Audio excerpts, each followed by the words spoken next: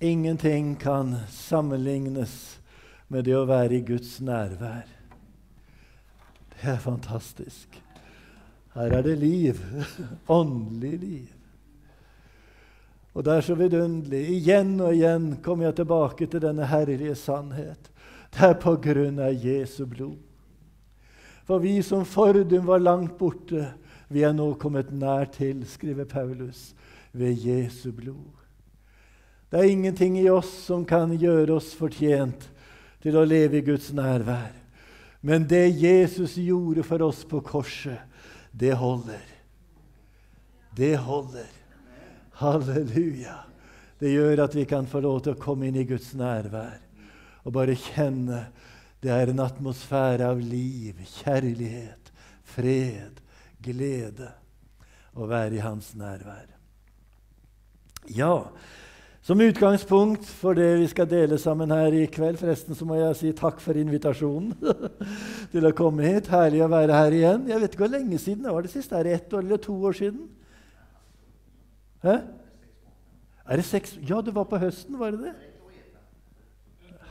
Ja, jeg husker ikke. Jeg reiser jo som sagt rundt omkring i eh, både distriktet ved Haugesunds distrikt og ellers Ålesund. For 14 dager siden var jeg i Sandefjord. og ja, sånn litt rundt omkring.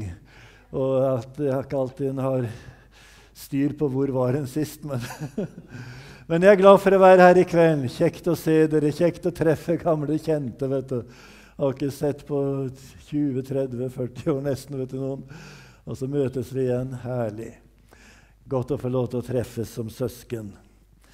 Men vi skal ha som utgangspunkt for det jeg skal dele sammen her i kveld, et vers fra 1. Timoteus brev, kapittel 4 og vers 8.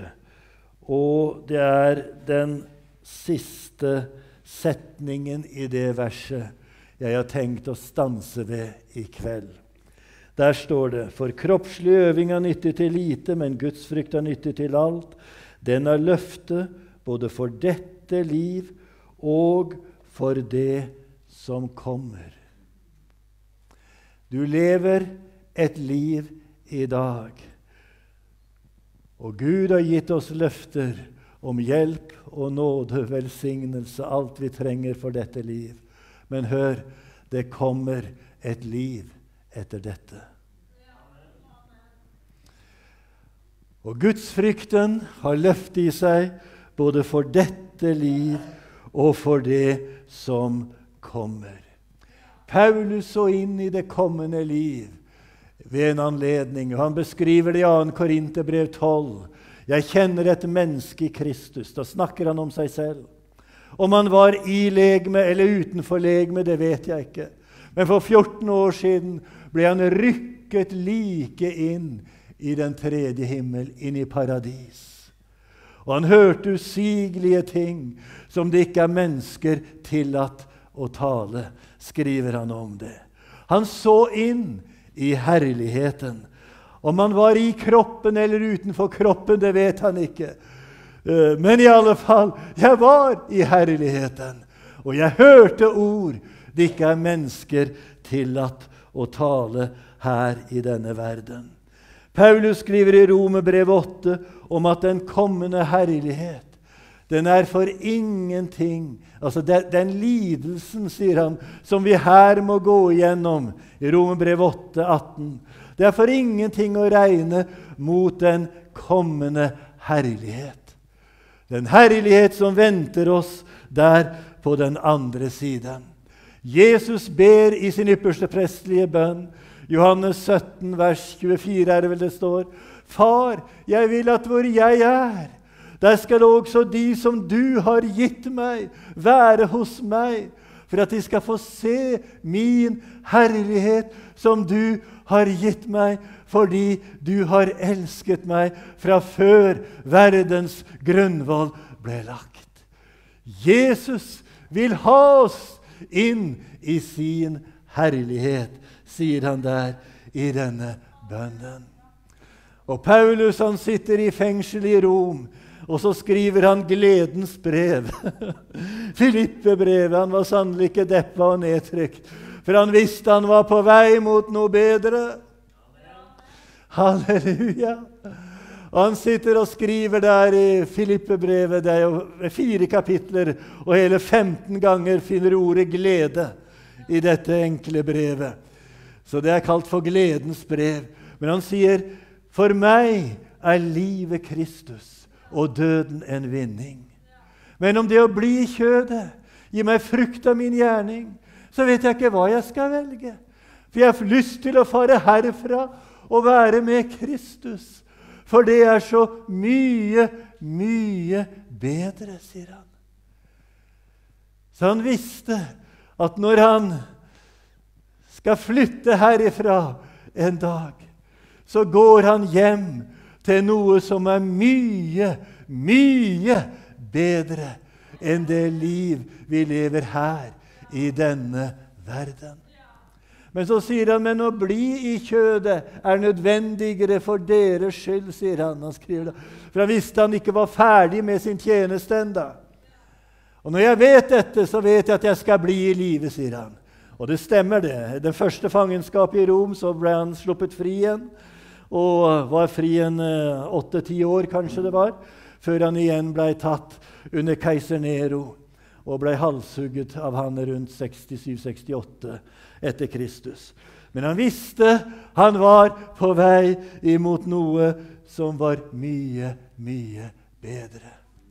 Og like så sikkert som du er her i kveld, kommer dagen da du skal flytte ut ifra tiden og inn i evigheten. Og da er det kun én ting som gjelder. Står mitt navn skrevet i livets bok? Er Jesus min frelser. Det er det som betyr noe på denne dagen da du skal flytte herifra. Og vi skal reise herifra på én av to måter. en av de to måtene. Enten ved død eller ved at Jesus kommer igjen og tar oss direkte inn i herligheten. I Hebrebrevet 9,27 så skriver Hebrebrevets forfatter for det er menneskets lodd en gang å dø, deretter dom.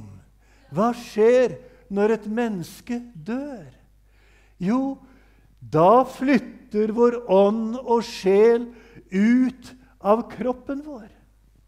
Bibelen kaller kroppen vår for et tempel. Vet dere ikke at deres legeme er et tempel for Den hellige ånd som bor i dere? som dere har ifra Gud, at dere ikke hører dere selv til.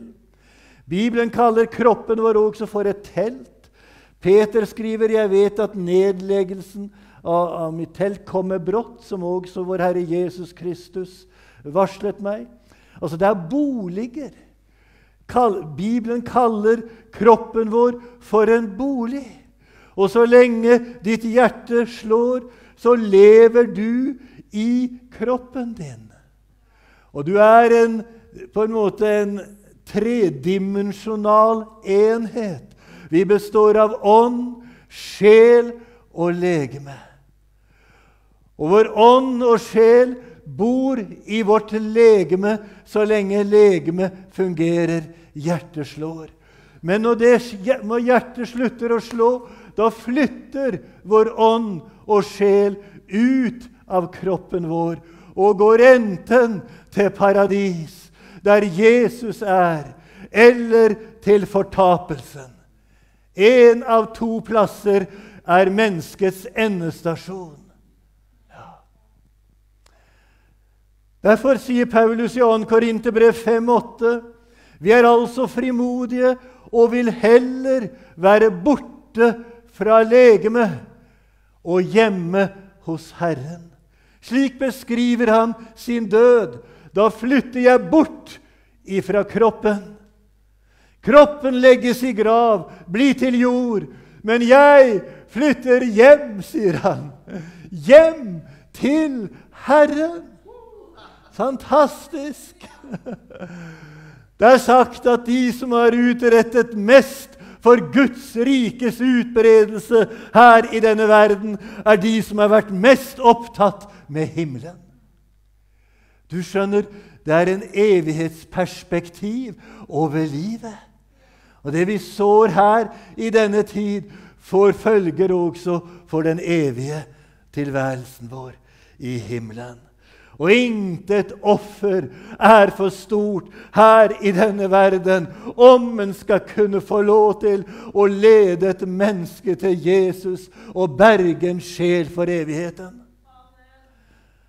Og mange, mange der de av hver eneste dag er det tusener på tusener som gir sitt liv for evangeliets skyld.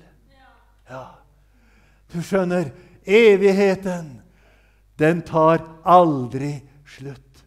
Dine år her på denne jord er 70, 80, 90, kanskje. Kanskje du også blir litt eldre.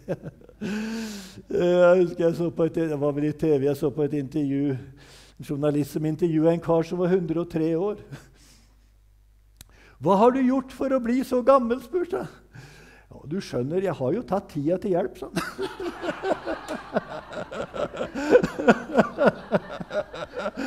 ja. Jeg måtte smile. Det var godt, godt svar. Og så drikker jeg mye melk, sa han. ja. Men halleluja. Døden er å flytte ut ifra kroppen. Liksom legemet er dødt uten ånd, skriver Jakob, er også troen død uten gjerninger. Så når et menneske dør, så flytter vår ånd og sjel ut av kroppen. Når Jesus var korsfestet på Golgata, så vender han seg til den ene røveren som ber, 'Tenk på meg når du kommer i ditt rike.' Og så sier han, 'Sannelig sier jeg deg, i dag skal du være med meg i paradis.' Han talte til røveren som bodde inne i denne kroppen, på han som hang ved hans side. Kroppen den ble tatt ned av korset og lagt i en grav, eller et eller annet sånt. Men røveren selv ble med Jesus til paradis. Du er et fullverdig menneske med tanker og følelser når du er borte fra legemet også. Ja. Paulus hørte og så ting i herligheten og når han ble rykket inn i den tredje himmel. Han var et full, fullverdig menneske, selv om han var borte ifra kroppen sin. Han ble rykket inn i herligheten. Den rike mann, som Jesus taler om i Lukas 16, han døde, ble begravet, men også han flyttet ut av kroppen sin og våknet til en bevisst tilværelse bak død og grav. Jesus sier i Lukas 16, 26, han slo sine øyne opp i dødsriket, der han var i pine. Bak død og grav så kunne han se, han kunne tale, han kunne føle, han kunne tenke. Ja. Mennesket slutter aldri å opphøre å eksistere. Men når kroppen slutter å fungere, flytter vi ut og eksisterer et annet sted. Gudsfrykten har løftet i seg både for dette liv og for det som kommer. Halleluja. Den andre måten som vi kan flytte ut fra denne verden på, det er ved Jesu gjenkomst. Og Jesus, han, Paulus han skriver i 1. Salonikerbrev 4, vers 13-18.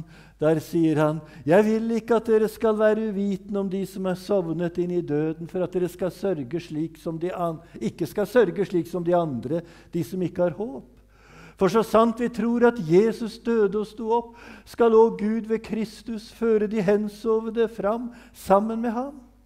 For dette sier vi dere med et ord av Herren, at vi som lever, som blir tilbake inntil Herren kommer, skal slett ikke komme i forveien for de hensovne. For Herren selv skal komme ned ifra himmelen med et bydende rop, med overengels røst og med Guds basun. Og de døde i Kristus skal først oppstå. Deretter skal vi som lever, som blir tilbake, sammen med dem rykkes i skyer opp i luften for å møte Herren. Og så skal vi alltid være med Herren. Trøst av hverandre med disse ord, sier Paulus. Det kommer en flyttingsdag, skjønner du, når Jesus skal hente sin menighet, vil det leve en generasjon her på jorden som slipper å gå veien om død og grav før de går inn i herligheten. Se, jeg sier dere en hemmelighet, sier Paulus i 1. Korinterbrev 15, vers 51 og 52. Vi skal ikke alle hensove, men vi skal alle forvandles. I et nu, i et øyeblikk, ved den siste basun. For basunen skal lyde, og de døde skal stå opp uforgjengelige, og vi skal forvandles. Da skal Guds kraft gå gjennom vårt legeme fra isse til fotsåle, og vi skal forvandles inn i et herlighetslegeme som er likt Hans herlighetslegeme.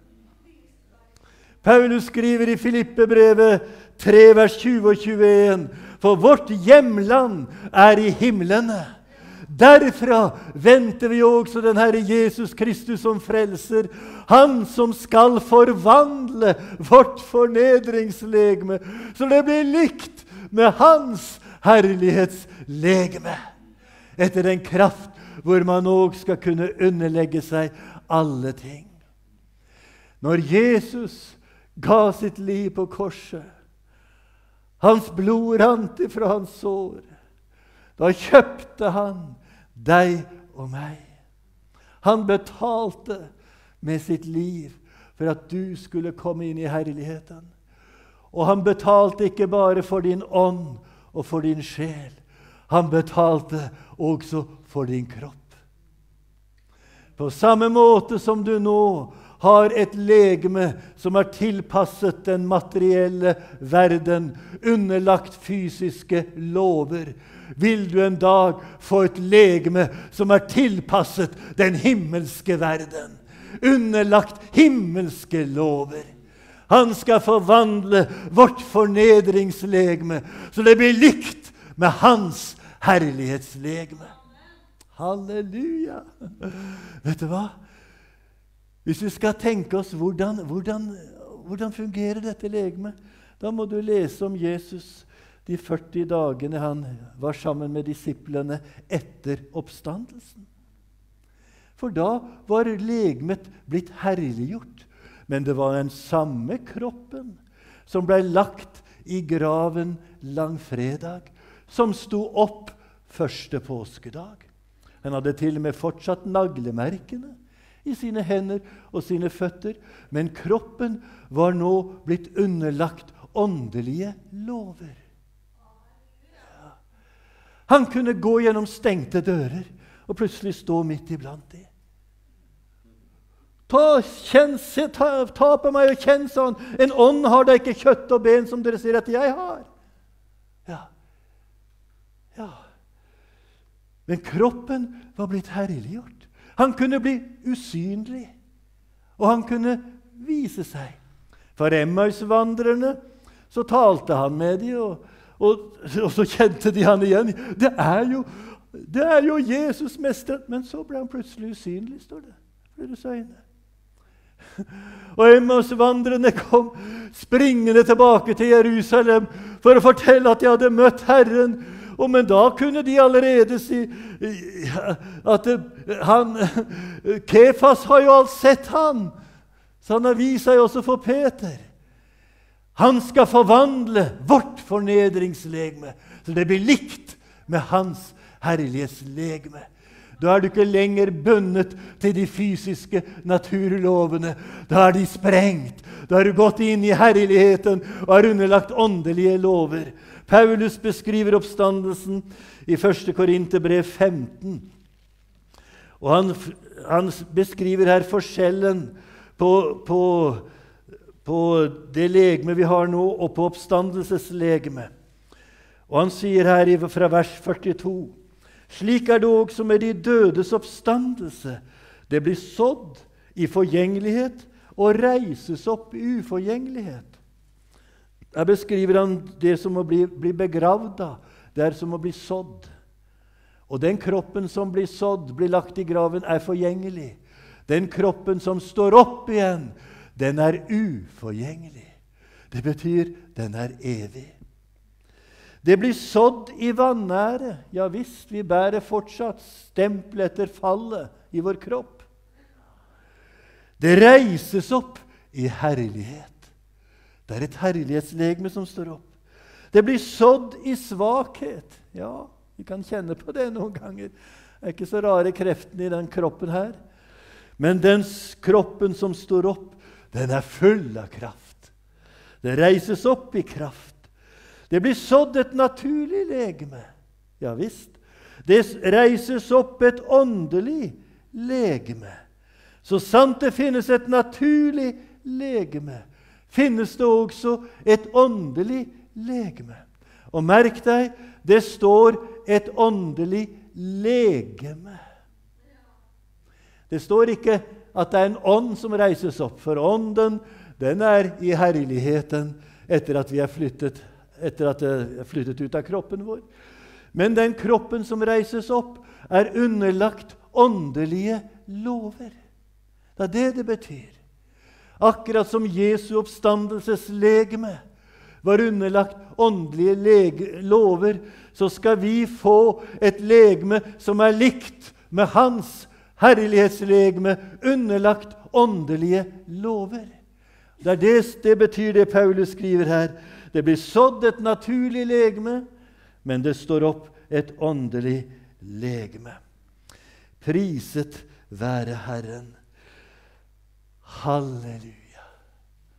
Da trår vi inn i den evige herlighet. Hvordan blir det i det liv som kommer? Hva møter oss i det liv som kommer? Nå skal vi gå til Johannes' åpenbaring, kapittel 21. Og les vi bare for korthets skyld så tror jeg vi skal bare lese vers 4. Han skal tørke bort hver tåre av deres øyne. Døden skal ikke være mer.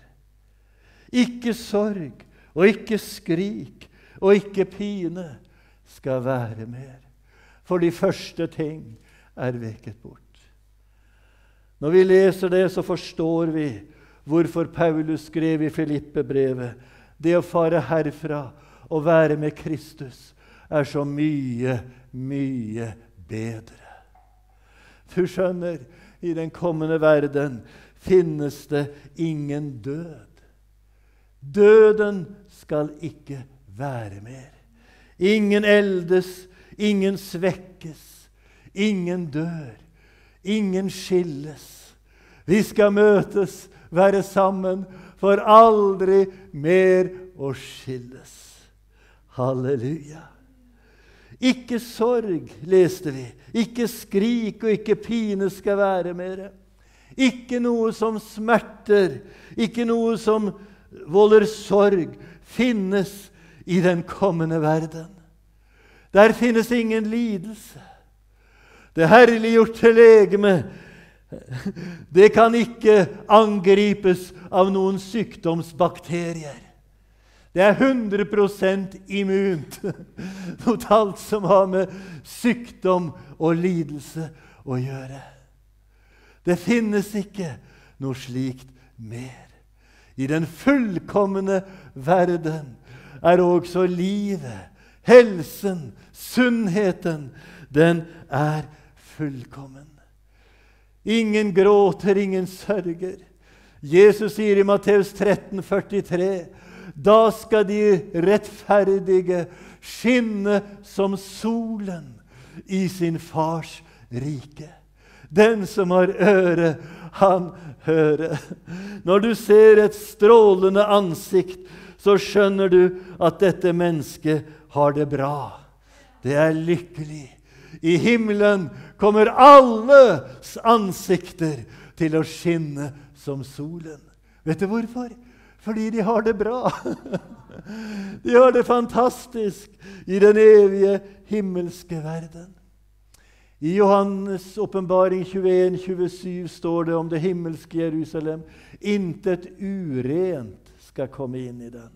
Ingen som farer med stygghet og løgn, men bare de som er innskrevet i livets bok hos Lammet. Det forteller meg at det finnes ingen synd i himmelen. Der er alt rent. Når du har levd i den himmelske herlighet i tusen år, så har du ikke hørt et eneste ondt ord. Du har hørt bare gode ord. Du har ikke sett en eneste ond gjerning. Du ser bare gode gjerninger. Vet du hvorfor? Det finnes ikke synd der. Til og med du har ikke tenkt en eneste uren eller ond tanke. Du tenker bare rene og gode tanker. Alt er rent i den himmelske verden. Og en slik atmosfære av renhet og hellighet skal vi få lov til å leve i all evighet. Halleluja. Tenk å aldri høre eller se en synd. Det er nesten som du får vondt inni deg når du slår på TV-en ofte nå og hører de banner og sverger i TV. Snakker om synd og elendighet. Det krymper seg. Det er visse programmer jeg syns kan være litt artige å se noen ganger. Bl.a. sånn naturprogrammer og litt om jakt og fiske og sånn. Jeg er litt glad i naturen, vet du, så jeg, jeg slår noen ganger på den der. Men noen ganger synes jeg nesten programmet blir ødelagt. For de snakker så råttent og stygt. Da vil jeg heller slå av lyden, og så får jeg heller bare se på trærne og blomstene og fuglene og fiskene. Men altså, det, det, gjør, det, gjør, oss vondt. Vet du hvorfor? Fordi du og jeg er nye skapninger i Kristus. Vi er renset i Jesu blod. I himmelen finnes ikke noe synd. Der skal vi få lov til å leve i en renhet. Halleluja. Tenk å bare tenke gode, rene tanker i en hel evighet. Ja, det er sant. Ja, men det er sant. Sånn er det i den himmelske verden. Og så står det noe fantastisk i 1. Korinterbrev 15,58. Da skal Sønnen selv underlegge seg ham som han la alt under ham, for at Gud skal være alt i alle. Det er knallsterkt. Da skjønner vi litt hva som møter oss i den himmelske herlighet når vi flytter herifra. Er hos Jesus i paradis. Gud blir alt i alle i den himmelske verden. Tenk når Gud er alt i deg, og Gud er alt i meg. Tenk hvor godt vi skal ha det i lag. Halleluja! Hvilket fellesskap! Det som gjør at det er herlig for Guds barn å komme sammen her på denne jord, det er at det fins noe av Gud i deg, og det fins noe av Gud i meg. Og når det kommer fram, da er det vidunderlig godt å være sammen. Men dessverre så er ikke alt i meg av Gud enda. Dessverre. Og ikke i deg heller. Og det kan hende at det kommer noe fram i livet vårt som ikke har Gud som kilde. Og da er det ikke alltid like bra. Paulus taler om jeg kjenner en annen lov i mine lemmer som tar meg til fange under syndens lov i mitt sinn. Sy eller ja, loven som er i mitt sinn, syndens lov som er i mine lemmer, sier han. Og, og, Vi kan ikke komme vekk fra syndenaturen vår. Den er der så lenge vi bor i denne kroppen. Men det går an å leve et liv i ånden så vi ikke fullbyrder kjødets begjæring. Men kjødets begjæring blir du aldri fri. Men du kan finne seier over den. Når Den hellige ånd får fylle deg, og du lever et liv i ånden og Noen ganger så kan det fungere kanskje tålelig greit en 8-10-12 dager, men huff, plutselig så kan det dukke fram noe som ikke er så bra lenger. Sånn er det her i denne verden. Men det kommer en dag Halleluja. Da oppstandelseskraften skal gå gjennom vårt fysiske legeme.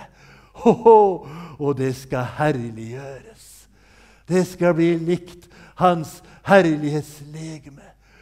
Gud kommer til å bli alt i deg. Alt i deg.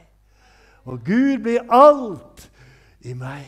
Slik blir fellesskapet i den himmelske verden. Og Paulus skriver i 1. Johannes 4, vers 8.: Den som ikke elsker, kjenner ikke Gud, for Gud er kjærlighet. Da må det bety at kjærlighet blir alt i våre liv, i den himmelske verden. Han som er kjærlighet, blir alt i oss. Da kommer hvert et ord jeg sier i himmelen, til å være drevet av guddommelig kjærlighet. Da kommer hver tanke jeg tenker i den himmelske verden, til å være drevet av guddommelig kjærlighet. Da kommer hver gjerning jeg gjør i den himmelske verden, til å være drevet og motivert av guddommelig kjærlighet. Kan du forstå litt av hva det vil si å leve et fullkomment liv? Det er det vi alle skal leve i den himmelske verden. Da Han som er kjærlighet, fyller alt. Du skjønner, Gud hadde en rik plan da han skapte mennesket i sitt bilde. Han ville ha et avbilde av seg selv. Ja. Og du skjønner, syndefallet ødela det. Men Gud gav ikke opp sin plan. Han lot sin sønn komme til denne jord og ta et menneskeskikkelse på seg for å forene seg med oss i vårt syndefall, for gjennom dette å bringe den falne menneskeslekt inn i døden og inn i oppstandelse til et nytt liv. Én er død for alle, derfor er de alle døde. På korset tok han synderne med seg inn i sin død, for igjen å ta de med seg inn i sin oppstandelse, så vi skulle få del i hans evige herlighet. Han ble nemlig gitt for våre overtredelser, oppreist til vår rettferdiggjørelse, sier min bibel. Er vi oppreist med ham? Ja visst. Da har vi også blitt velsignet med ham med all åndelig velsignelse i himmelen i Kristus. Så nå er vi bare underveis. Vi er underveis. Hvor hen? Til det liv som kommer. Ja, og halleluja! Under denne vandringen så får vi lov til å leve i fellesskap med Gud. Vi har en plass å gå til. Bibelen taler om at vi skal få lov til med frimodighet komme frem for nådens trone, for at vi kan få miskunn og finne nåde som gir hjelp i rette tid. Vi har en vi kan søke inn til hele veien, og han gir oss det vi trenger.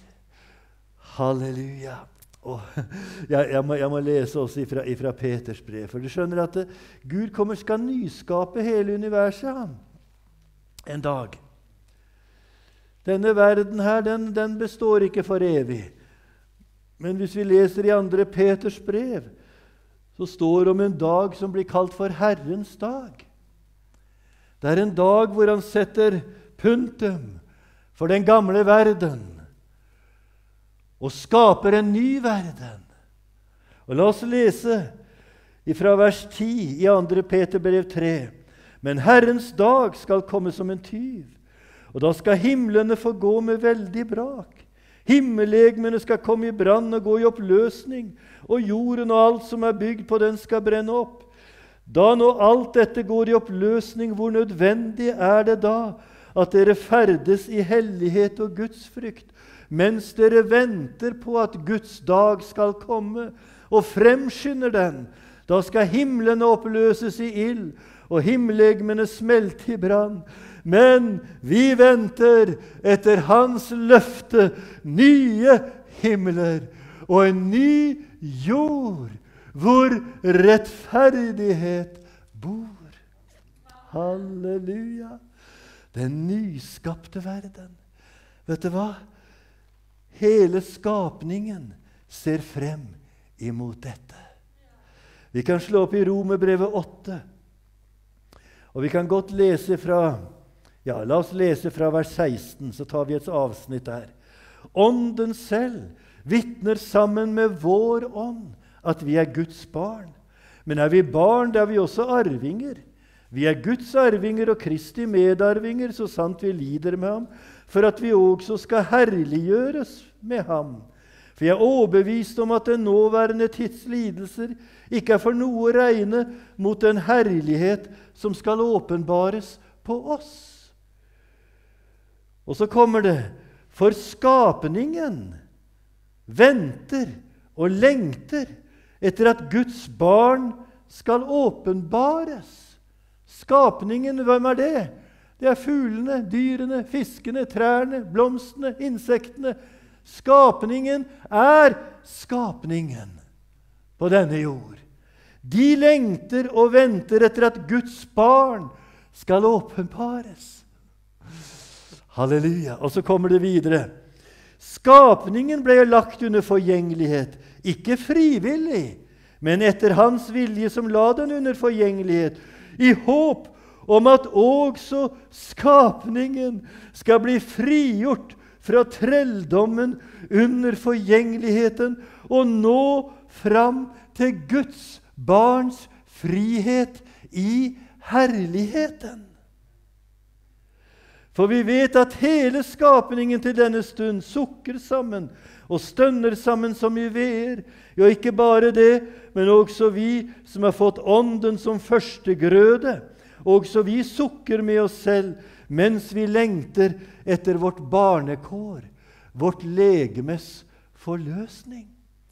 Det er en del av barnekåret at kroppen vår skal bli forløst ifra trelldommen under forgjengelighet.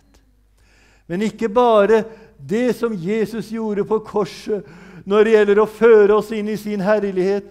Det, det, det gjelder ikke bare menneskene, det gjelder hele skapningen.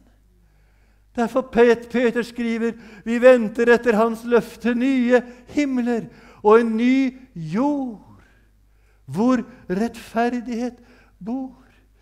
På den nye jord skal det være en skapning som er frigjort fra den trelldom som forgjengelighet fører med seg.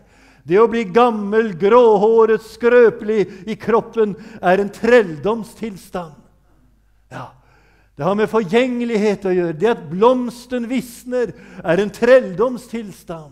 Det har med forgjengelighet å gjøre. Hele skapningen skal en dag stå fram uforgjengelig. Uh, halleluja. Og den nye himmelen og nye jord er en integrert enhet i herlighet. Det nye Jerusalem kommer til å stige ned fra himmelen fra Gud, gjort i stand som en brud som er prydet for sin brudgom. Og hvor stiger den ned på? Den nye jord. Se, Guds bolig er hos menneskene. Hele universet blir herliggjort, renset ifra synd. Priset være Hans navn.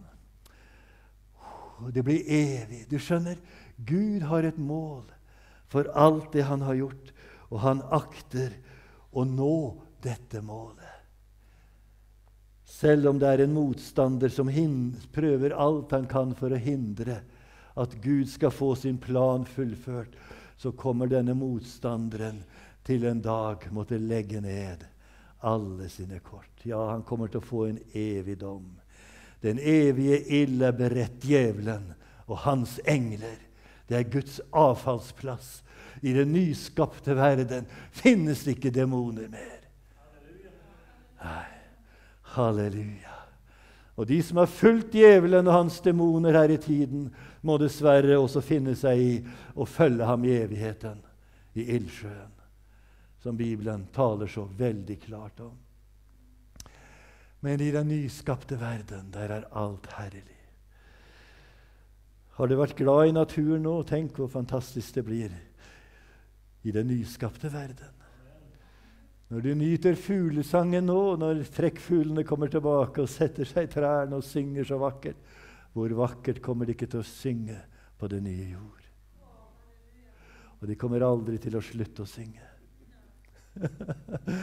han, han rører ved noe vesentlig, han som har skrevet sangen 'Til en stad jeg er på vandring'. Synd er alltid utenfor. Livets tre står der i blomstring, og hvor roser aldri dør. Halleluja. Hvem kommer dit? Jeg skal runde av med dette nå. Hvem kommer dit? Jo, det er de som er arvinger, står det. Ja, det er Guds barn som kommer dit. Og for å bli arving må du være barn. Er vi barn, da er vi også arvinger. Guds arvinger og Kristi medarvinger. Det innebærer at du skal herliggjøres med ham, og du skal få del i alt dette som Bibelen taler om når det gjelder det liv som kommer, den kommende verden. Men hvordan blir du et Guds barn? Jo, Ganske enkelt ved å bli født på ny. Ja. Uten at noen blir født på ny, sier Jesus i Johannes 3,3, så du ikke, du, kommer du ikke til å få se Guds rike. Du må bli født på ny for å bli et Guds barn. Ja, men hvordan blir jeg født på ny, da?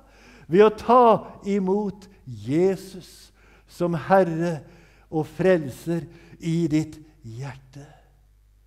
Alle de som tok imot ham, skriver Johannes i kapittel 1, vers 12, de ga han retten til å bli Guds barn. De som tror på hans navn. Og de er født, ikke av blod, ikke av kjød, ikke av manns vilje, men av Gud.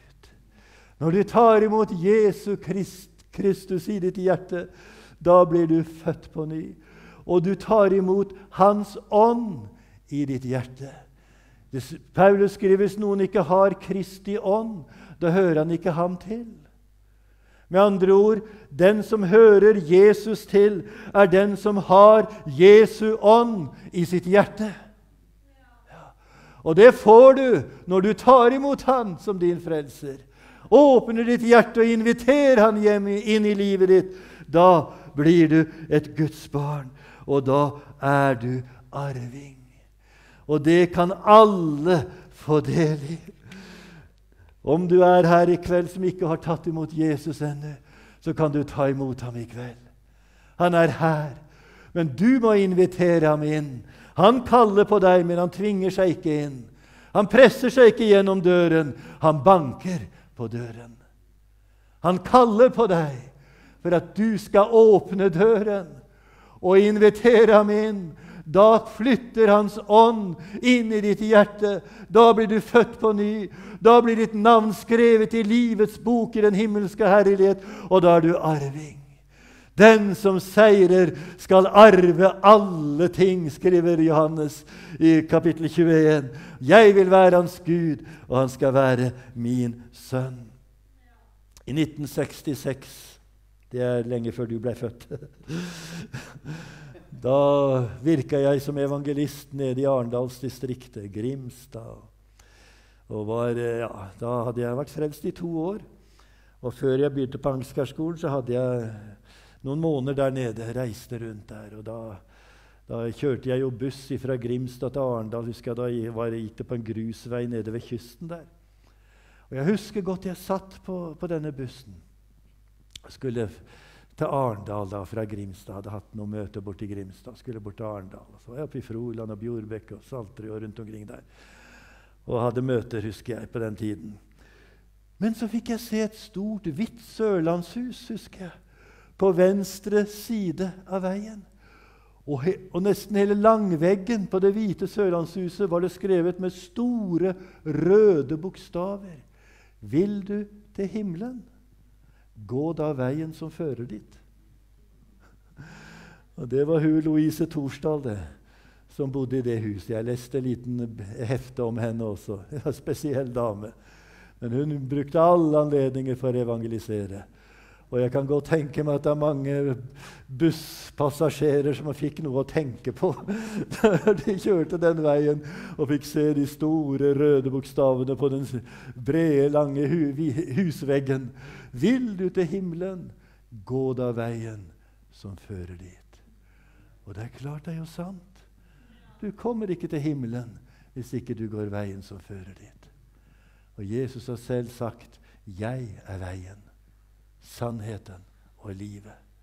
Ingen kommer til Faderen uten ved meg. Skal vi be sammen? Herre, vi takker deg, priser deg for din nåde.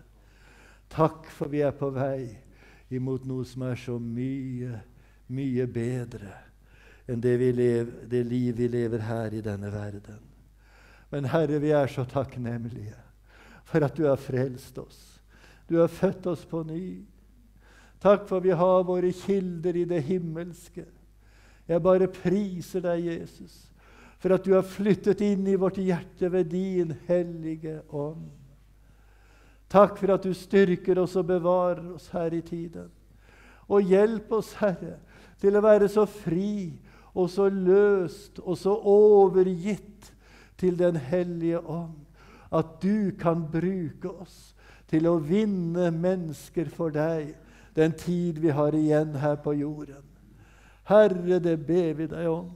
Vi vet ikke dag eller time da anskriket skal lyde i skyen, at du kommer for å hente din menighet.